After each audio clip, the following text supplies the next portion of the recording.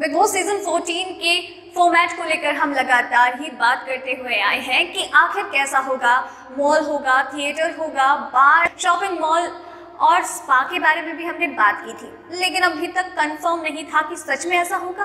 लेकिन आज हो चुका है ये कंफर्म कि शो का फॉर्मेट बिल्कुल ऐसा ही होगा। आप तो जानते ही हैं कि आज 24 सितंबर है और हो रही है बिग बॉस सीज़न 14 की प्रेस कॉन्फ्रेंस और यहाँ पर सलमान खान ही होस्ट है और वो बता रहे हैं शो के बारे में कुछ खास बातें। तो इसी के साथ उन्होंने रिवील कर दिया है बिग बॉस का घर।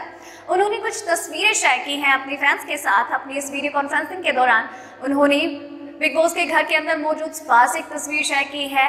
फ़ूड कोर्ट से एक तस्वीर शेयर की है, मूवी थिएटर से एक पिक्चर शेयर की है और साथ ही स्पा में आराम करते हुए भी उन्होंने एक तस्वीर शेयर की है। और सलमान ने उसके साथ ये भी जानकारी दी है कि जो चीज़ें हमने लॉकडाउन के दौरान मिस की थी, उन सब चीज़ों की कसर पूरी हो जाएगी बिग बॉस के घर में। जी हाँ लॉकडाउन के दौरान सब कुछ बंद था। फिर चाहे वो थिएटर्स हो स्कूल कॉलेजेस हो मॉल हो रेस्टोरेंट हो, सब कुछ बंद था।